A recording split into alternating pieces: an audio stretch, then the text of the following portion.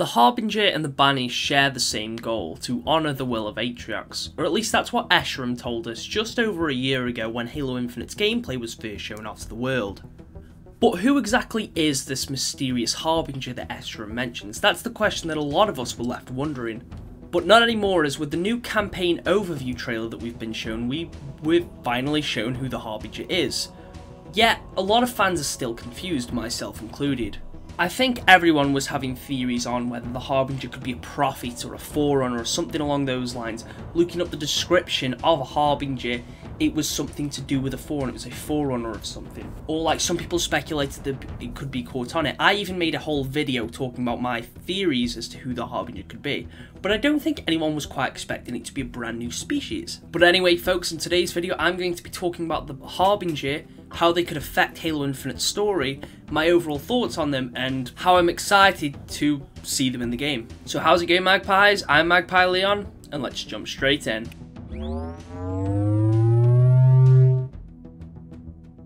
So upon seeing the Harbinger, a lot of people actually thought that it may have been the same species as the Prophets, but after closer inspection people found this to not be the case. It seems like the Harbinger might have their own faction, or at least have their own troops being the skimmers that were shown in the trailer. It's possible these could be a new sort of placement for the Prometheans, whether or not they'll be present was still unsure. I do hope the Prometheans come back and I would like to see them in the game, but that's a topic for another day.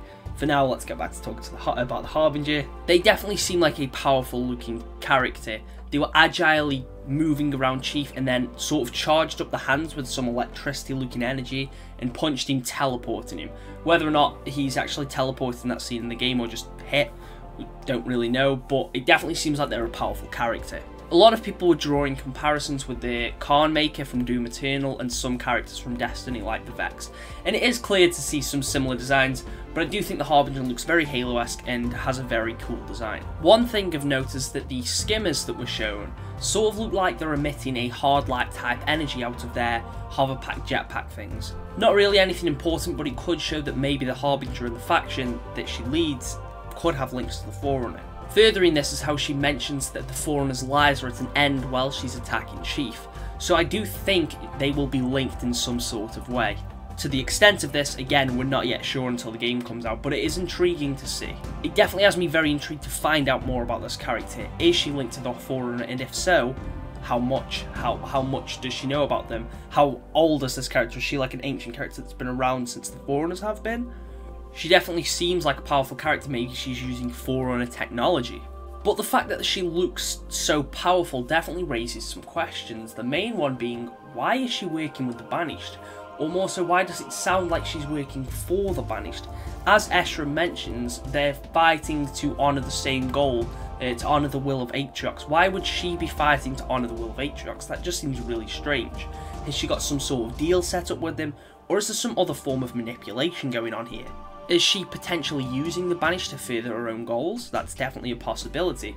As, like I mentioned, she definitely seems quite powerful. I don't really see why she'd want to work for the Banished. But maybe whatever she requires or desires she might need the Banished's help in some sort of way to get past that. Maybe she doesn't exactly have a big army, but she is quite a powerful character on her own, but maybe not quite powerful enough to have taken down the UNSC alone or something like that. Another thing I'm intrigued to see is whether or not she actually played a big part in the downfall of the UNSC. And considering how powerful she looks, is Chief going to be able to take her on alone? Obviously, we've only seen snippets of the character, but she definitely seems to fill a similar role to the Didact, being this godlike, really powerful entity. I know I'm picking off quite a lot here from just a very minor part of the trailer she was in. She was literally only in it for about four seconds, but it definitely raised a lot of questions.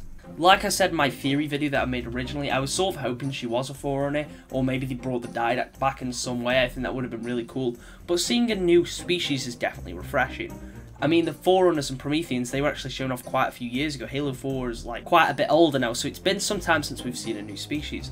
I just hope this doesn't make the game feel overcrowded if the Prometheans and Flood are also included, which are both things the fans want to see. But with Infinite having this 10 year plan, I guess not every faction needs to be there straight away, or not need, or maybe they don't necessarily need to play a big role in the base game. Like maybe the Prometheans will be there for a little bit, but maybe they won't have a major role in the game and reappear in a DLC. Same with the Flood, maybe they'll only have a minor appearance in the story, but have a DLC revolving around them. That's a possibility. To sort of put the spotlight on the Harbinger and her faction or troops or whatever. She definitely seems like she's going to be a really fun antagonist to fight, and I'm really looking forward to getting the chance to face her when the game comes out. But let me know what you think of the Harbinger down below. Do you think she is trying to manipulate the Banished or something like that to further her own goals? Do you think she's a cool character? Do you think Chief will be able to take her on alone? Again, I know we've only seen snippets and I'm probably over I could potentially be over exaggerating her strength or whatever, but it definitely seems like she is quite a powerful character, and I am curious to see how we will have to go about fighting him. Anyway, folks, I think that's all from me today. I've pretty much said everything I want to say about the Harbinger for today's video. But yeah, that's all from me, and I'll catch you in the next one.